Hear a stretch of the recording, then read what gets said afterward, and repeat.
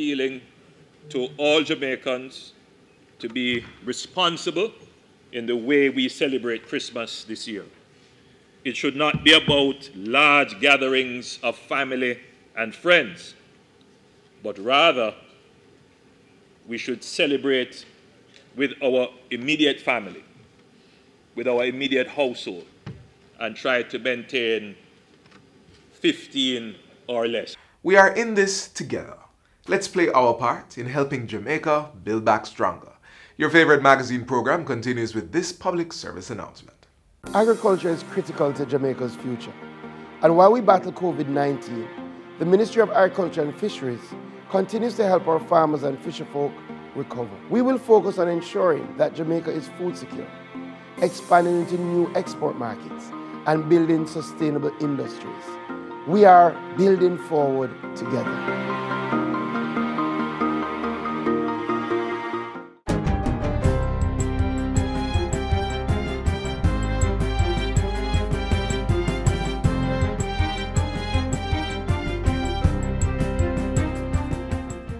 Day, I'm Stephen McHugh, and this is your JIS News for Monday, November 30. The National Reserves will be called out and deployed to assist with security measures across the country throughout December. Prime Minister Andrew Holness made the announcement last Friday. He said the decision was made on the advice of the Chief of Defense Staff and after long discussions at the National Security Council.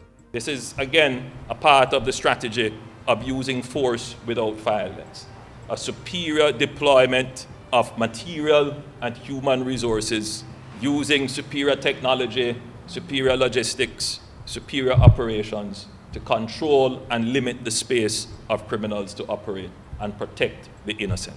Prime Minister Holness said this move was just one of the strategies being deployed to tackle crime and violence. He said government would also continue to advocate for the provision of exceptional powers for the security forces who must act without violence in the execution of their duties we know that we must find a way to address the crime problem in Jamaica. But without some tools, our powers will be constrained. Without some tools, the measures that are available are not going to yield the immediate results that we need. We need, always should have, not just we need, we always should have available to us the option of using extraordinary powers. Agriculture and Fisheries Minister Floyd Green is assuring the country that there will be sufficient supply of tubers and meat for the Christmas period. He gave the update at the post-cabinet press briefing while reporting on the impact of recent heavy rains which damaged many farms. The good news is that in relation to our tubers, in relation to our meat products, we do have sufficient supply. In fact, this Christmas we expect to have the largest amount of production of chicken that our country has ever seen. In fact, both our producers, our major producers, are higher than pre-COVID levels in relation to production. We expect to see good supply of tubers, so our yams, our potatoes, our sweet potatoes should be in good supply. In relation to vegetables, Minister Green says RADA is continuing its assessment of a drop in the supply chain to determine if alternative measures will be needed to ensure sufficient supplies for Christmas. The Ministry of Agriculture is willing to take those steps. So we are watching very carefully tomatoes, cabbage, lettuce, cantaloupe, squash, zucchini, and cauliflower to see if there needs to be any supplemental supply. The recent heavy rains and some river breaches caused widespread flooding, resulting in about 2,955 hectares of crop losses valued at approximately $2.5 billion. 926 tablets have been issued to 20 schools across eastern St. Thomas as part of government's Tablets in Schools program. Education Minister Fayval Williams presented the devices at a handing over ceremony held recently at Lyssons Primary School in the parish. She encouraged the students to use the devices to expand their knowledge. I encourage the students to travel the world using your device. You can go to Japan, Australia, Nigeria, India. You can learn about cultures in those countries. You can ask questions on Google about any topic that you care to. Use the devices to expand your knowledge base. Meanwhile, students at Lucea Primary and Sandy Bay Primary and Junior High in Hanover have also received tablets to aid their distance learning. Education Minister Fayval Williams handed over 165 tablets to Lucea Primary and 99 to Sandy Bay last Thursday. She again stressed that government was also ensuring that schools have internet connectivity to fully maximize the use of these devices. We're rolling out and making sure that at least 100 schools that did not have internet connectivity, that those schools get it. And I think so far we're probably at 40 of the 100, and the implementation is continuing. There are other schools, and we're talking with other vendors to see what else can be deployed all across Jamaica. So far, more than 34,000 of 40,000 devices have been distributed to students under the Tablets in Schools program. The remainder are expected to be distributed over the next few weeks.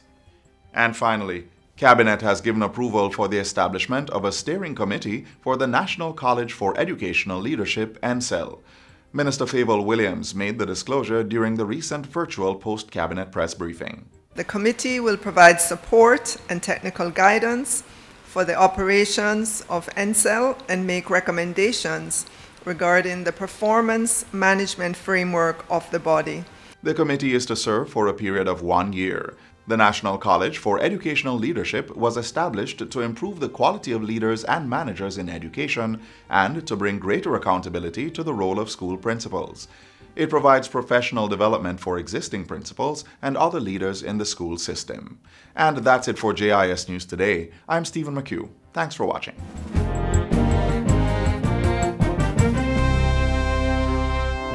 The Disabilities Act will protect the rights of all persons with disabilities. And here's a great teaching moment. Every person with a disability, like a deaf or hard of hearing child, for example, has the right to an education with accessible facilities and the support they need. In this case, it would be a teacher who can use the language of the deaf, which is sign language. Visit jcpdja.com. A message from the JCPD, an agency of the Ministry of Labor and Social Security. Improper disposal of plastic waste has been pinpointed as one of the causative agents of flooding. Find out how you can help reduce and rid the island of plastics.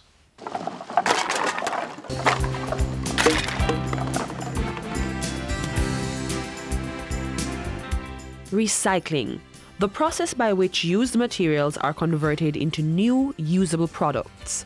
One of those commonly recycled materials is the plastic bottle. It's often used to produce a number of products, from clothing to furniture and even other bottles. But did you know that bottles can be repurposed into a greenhouse? Well, a team from the Richmond Park Primary School in Clarendon not only built a greenhouse, but also created an irrigation system along the way. The JCCP and the UNDP um, involved us into a project in ways how we can sustain the environment so our school, we came up with the idea of recycling plastic bottles. And because we are in the farming, our school is in the 4-H club, we decided to do the greenhouse and plant crops inside of it. We use plastic bottles a lot in our schools and our surroundings, and we see them all over the place. So we and the students, we came together with an idea to collect all the plastic bottles in our communities, and then we bring them back to our school and then we washed them and then we started to build the greenhouse. This size, it took us one week, exactly one week. Inside we have six types of drip irrigation system. We have the cone dripper where we put the plant inside, uh, we cut the, the liter bottle and put the, the plant inside of it and the water is absorbed by the absorbent cord into the, the soil that is, the, the, the plant can get um, the water and the nutrients also. And we have the hose dripper. When the water um, runs off the roof and catches into the bucket, it leads to the hose and it waters the plants also. And we have the plant hangers and the syrup bottle um, self-watering system where the water drips from one bottle to the next until it waters all the plants. So you don't have to go every day to water plants. The bottles are there, it's a self-watering system. All you have to do is to pour some water inside the bottles. The greenhouse was a hit at the 66th staging of the Denbigh Agricultural Show in Clarendon and caught the attention of several government ministers, one of whom was Minister without portfolio in the Agriculture Ministry, J.C. Hutchinson, who indicated that this project was in line with something he had been advocating for. What I've been speaking mainly about is the hydroponics, which part of what you see there is the hydroponics where you have the water coming through the plastic bottles to filter to the plants. And also you could have aquaponics also where you have the fish below and that filters through the plants, through the plastic bottles and comes back out. Inside there is cooler than outside here. And I think if we can have some of these going, it might suit quite a number of persons who might think of setting up house. Reduce, reuse, recycle. The use of plastic bottles in the agricultural sector is definitely becoming a thing. So give it a try. Start a backyard garden and help to rid the country of these pollutants. We all can play our part in helping to make the country a cleaner place and even help to boost the economy.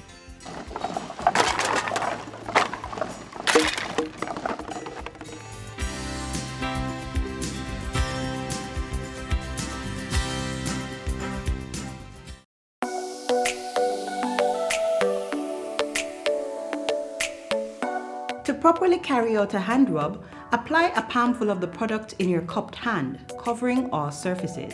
Rub your hands palm to palm. Rub your right palm over the back of your left hand with interlaced fingers and vice versa. Rub your hands palm to palm with fingers interlaced. Rub the back of your fingers to opposing palms with fingers interlocked. Rotationally rub backwards and forwards the clasped fingers of your right hand in your left palm and vice versa. Once your hands are dry, they are now safe.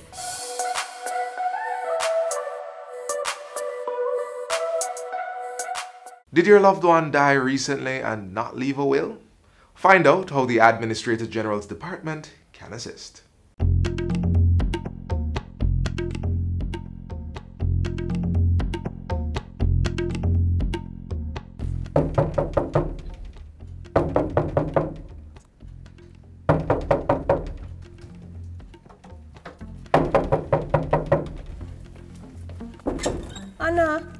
Knocking down my door? What is it? Jackie, me don't know what to do. From Jason dead, I have nothing to give to the children and I don't know where to turn. So why you didn't go down to the Administrator General's department, the place I told you about the other day? Lord Jackie, me know you try to help me, you know. But member say me and Jason never did marry, you know. What do you mean by that, Anna?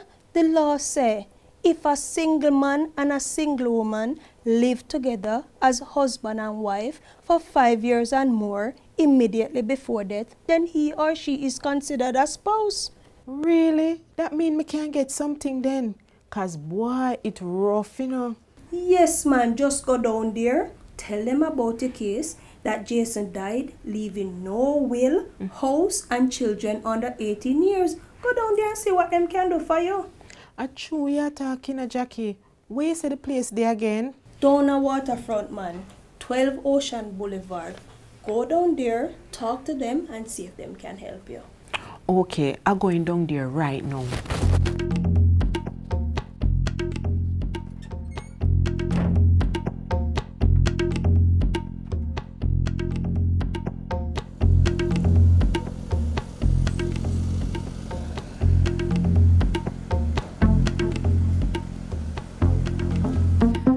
Morning, madam. How are you?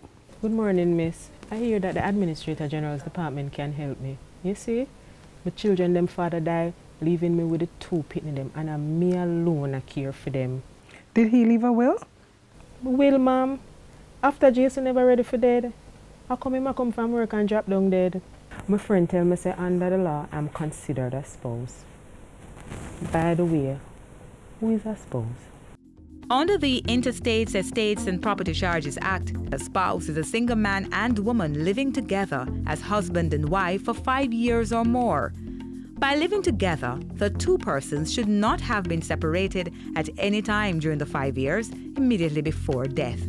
A surviving spouse includes a person who is legally married, that is, he or she went in front of a pastor and took the vow of marriage.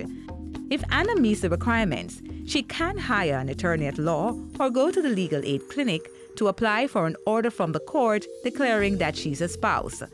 Some of the questions the court will look at are Did Anne and Jason break up during the five years? Did Jason have any children, born in the same year as Anna's children? The court will also want to know if Anna or Jason were married before and not divorced. Once the order has been granted, the spouse would be entitled to benefit from the estate of the deceased. For further information, you can visit the Administrator General's Department in Kingston, third floor at the Office Center Building, 12 Ocean Boulevard, or call us at 922 183023.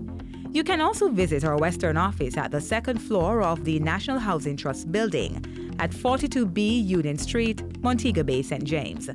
Telephone 630 4261. Our website is at www.agd.gov.jm. That's the Administrator General's Department, securing your legacy.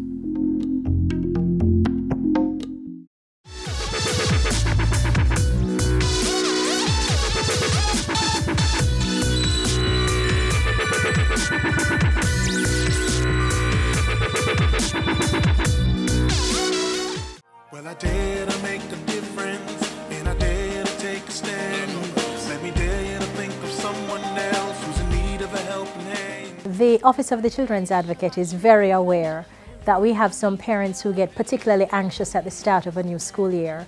And so we really just wanted to share with you a few tips that you can utilize to help keep your children, especially the very young ones who are going out for the first time, nice and safe from sexual abuse. Parents need to recognize that the private parts, as we call them, or the genitalia, are regular parts of the body. And so, in teaching your children about the forehead and the nose and the hand, you can also teach them the names of these body parts because that does two things. It puts them in a position to speak about these parts when something is going wrong, and it also tells them that even though they're private parts, it's not too private to talk about, particularly with a parent. Children need to know that there should be no secrets between them and their parents or guardians. Oftentimes, when persons want to abuse children, they tend to encourage them to keep a little secret. You know, this is between me and you. But from very early, parents need to establish with their children that the lines of communication are open. Mommy and daddy, or auntie and uncle, or whoever is the responsible adult in that child's life, can actually have a discussion, age appropriate of course, about anything at all that may be troubling the child. The third tip is that parents need to cultivate throughout the child's lifespan that environment whereby the child feels comfortable to speak. Conversation should not be off limit, topics should not be taboo, and you really need to get to a stage whereby you have teachable moments, we call them. So we see a lot of things reported in the newspapers, sometimes on the nightly news. And we can use some of these instances of horrible things that are happening to other children to start little discussions with our own children to give them tips as to how they can avoid or prevent, um, perhaps completely, any such reality happening to them. For these tips and of course any other information that deals with children, that is anyone under 18 years, please feel free to contact the Office of the Children's Advocate. We're at 72 Harbour Street, downtown Kingston, and our numbers are 948 1134 or website www.oca.gov.jm. Well, I dare to make a difference, and I dare to take a stand. Let me dare you to think of someone else who's in need of a helping hand. Did you know that nearly 50% of cervical cancer cases brought on by the human papilloma virus result in death? Hear how the Ministry of Health and Wellness is working to reverse those figures.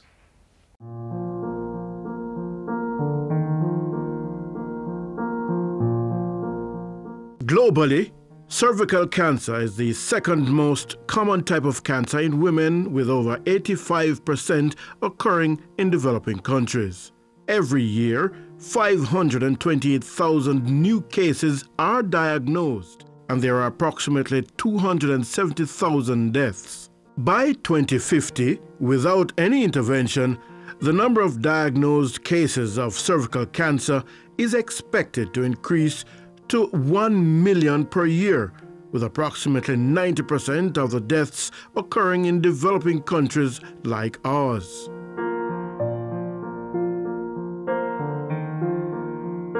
A major factor is the human papilloma virus, HPV, of which there are approximately 200 types that infect epithelia, or skin tissue.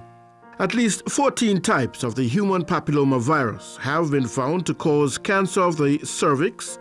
Types 16 and 18 are responsible for 70% of cancers of the cervix, which is a second leading cause of cancer-related deaths in Jamaica.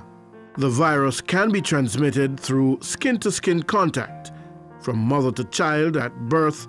Current estimates indicate that every year just under 400 women are diagnosed with this disease, with approximately 185 dying from the disease, with the majority of deaths occurring in women between the ages of 40 and 64 years of age. A prevalence study conducted in Jamaica in 2010 revealed that the overall prevalence of any type of HPV infection was 54 percent.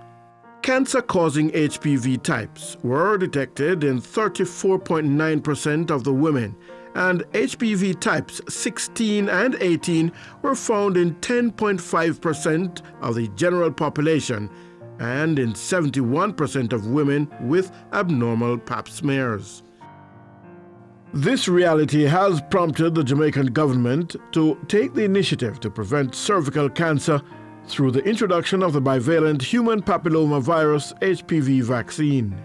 The World Health Organization, WHO, recommends that HPV vaccines be included in national immunization programs as a core strategy for primary prevention against cervical cancer. WHO states, Mr. Speaker, that HPV vaccination for girls ages 9 to 14 years is the most cost-effective public health measure against this disease. More than 70 countries around the world, including more than 20 countries in Latin America and the Caribbean, have already introduced the vaccine. Several studies and monitoring by the World Health Organization WHO Global Advisory Committee on Vaccine Safety proved that HPV vaccination is safe and works extremely well decreasing the number of HPV infections and related precancers. The bivalent HPV vaccine, introduced by the Ministry of Health in schools at grade 7 to girls ages 9 to 14, provides for 90 to 100% protection against HPV types 16 and 18. The vaccine is offered free of cost. Bear in mind, too, by the way, Uh, the cost to administer one of these vaccines, for us, the cost is somewhere in the region of seven, eight US dollars. If you go into the private sector, you're looking at anywhere from eleven to fifteen thousand dollars. So it's not inexpensive. This vaccine is not mandatory, and beneficiaries received opt-out forms for parents and guardians to give or refuse permission for their girl child to receive the vaccine we can take it that the indication, if anything, is that they want this. They identify with this. I remember one girl indicated that her mother actually called her aunt, who is a nurse, for advice. So that spells good. It says that persons are prepared to consult, get information, and then make informed decisions. And so that is going well. Approximately 22,500 girls were targeted for the vaccine's introduction in 2017, with each girl needing two doses given six months apart for full protection. Generally speaking, the process has gone smoothly. The school based strategy for implementation seeks to facilitate greater access to the targeted population. This covers the cost for social mobilization and communication, cold chain equipment, training and sensitization, and procurement of vaccine and vaccination supplies. And this disease prevention strategy will save the government millions. The Ministry of Health estimated that annual cost for the program after introduction will be 73.3 million Jamaican dollars. In Jamaica, the estimated cost is of, of the just under 400 cases annually, Mr. Speaker, is some $274 million. I should point out that this figure is only for radiotherapy and does not include diagnosis and chemotherapy. And for the individual, not just the emotional and physical trauma caused by this cancer is removed, but the financial burden. In the United States, cost on diagnosis is approximately some 15,000, 15, just under 16,000 US dollars. If the patient survives for a year, this rate goes up to approximately 30,000 US dollars. Despite vaccination, persons will still need to do their routine pap smear to check for any threat or signs of the cancer, as the key to effective treatment, if it should occur, is early detection. For more information or to have your concerns answered, you can call the Ministry of Health's toll free line 1 888 1 Love or 1 888 663 5683. Also, email hpvinfo at moh.gov.jm. You can also visit the website moh.gov.jm as well as social media channels.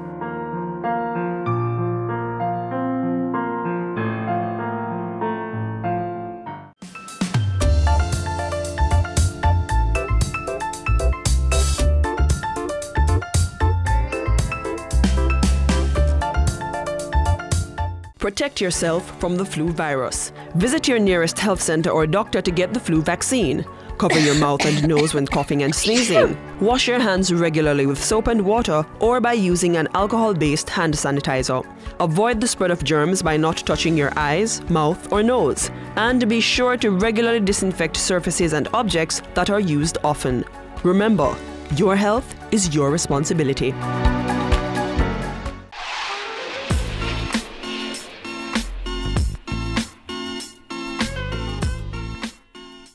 That's all the time we have left on this station, but be sure to join us tomorrow for another information packed program.